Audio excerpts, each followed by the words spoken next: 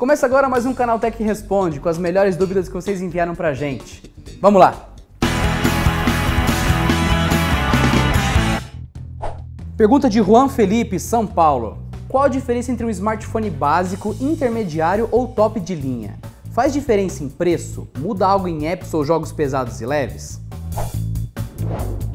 Juan, Smartphones top de linha é uma coisa muito ampla. Então pode ser que dentro da mesma marca você veja que o top de linha deles só tem a câmera melhor que o intermediário, o intermediário só tem um pouco de mais de bateria do que o básico. Então dizer que o smartphone é top de linha é muito relativo. O que normalmente a gente diz é que o smartphone é top de linha de tal marca.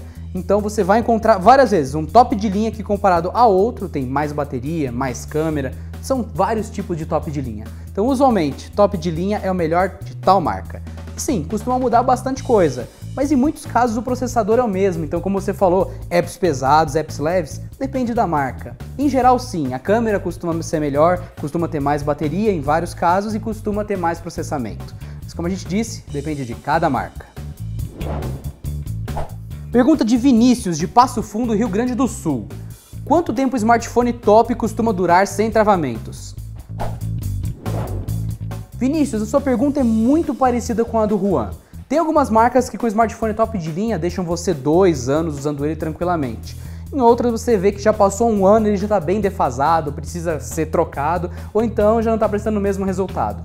É lógico, tem muitos smartphones que nem mesmo sendo tops de linha conseguiram oferecer resultados incríveis para muitas pessoas por muito tempo. Então depende, envolve bastante sorte e envolve também a tradição da marca que você está comprando em atualizar o aparelho ou então desenvolver ele bem no começo. Isso em todas as marcas, tem celulares que foram grandes surpresas e até hoje estão na mão dos donos, já passaram 5 anos, 4 anos. Depende muito do que você vai querer e depende também da sua sorte. Escolha bem. Pergunta de Anderson Leme de São Paulo. Estou interessado em trocar meu smartphone. Devo comprar um dispositivo com grande capacidade de memória interna ou um com menor capacidade de expandir através de um cartão micro SD? Anderson, sua pergunta é muito boa. Tem smartphones que são praticamente idênticos e tem diferença de armazenamento interno. Sim, isso faz muita diferença e normalmente você deve optar por mais armazenamento interno e não por um slot de cartão microSD. Sim, os dois são agradáveis e sim, ainda mais em tempos de 4K, é muito útil ter um cartão de memória instalado no seu celular. Só que o problema é o seguinte: imagine que você tem um smartphone que tem vários apps que não podem ser movidos por cartão. Isso é muito comum, tanto no Windows Phone quanto no Android. Não no caso do iOS, que os aparelhos não têm entrada para cartão de memória. E caso tivesse, provavelmente seguiria essa mesma lógica. Então, em geral, quando você for comprar um smartphone, opte sempre pelo que tem mais memória interna. Cartão de memória é bom? É ótimo para vídeos e fotos, mas para aplicativos grandes e pesados, jogos que têm 4 GB de tamanho, é, vai tudo para memória interna na maioria dos casos, e é nessa hora que você descobre que foi uma boa ou uma má escolha.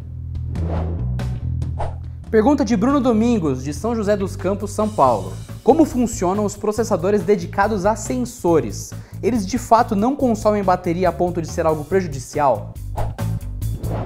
Bruno, você tem que pensar também no sensor que o coprocessador está controlando. Então, respondendo sua pergunta em duas fases. 1. Um, coprocessadores normalmente não gastam muita energia porque a função deles é muito simples, é muito específica.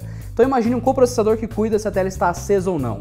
Ela só vai informar sim ou não para o sistema o tempo todo. É uma tarefa muito simples, muito, muito comum, que ele vai executar isso de maneira contínua, dizendo sim ou não para o sistema. Ele não tem que pensar mais, gastar mais energia. São só dois dados que ele está gerenciando. Aí sim, o sistema utiliza esse dado para uma forma boa ou não, ele vê se isso é importante ou não.